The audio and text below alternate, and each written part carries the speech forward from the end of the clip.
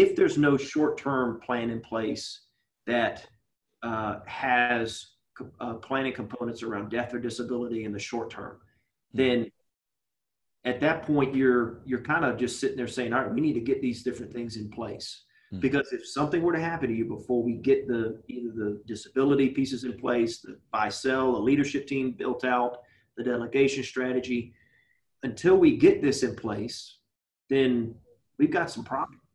We've right. got we've got some operational issues. It's probably going to end up being a wind down. We don't know how your family would would fare after any of this would occur. So there's a lot of holes in, in what we call gaps in planning that we have to have to help them bridge. Hmm. So we put those different pieces in place. Once those pieces are in place to where we can say, if it happens tomorrow or in two years, either way, we're okay. We know the plan. We've got we've got the different steps in place. People know what the plan is.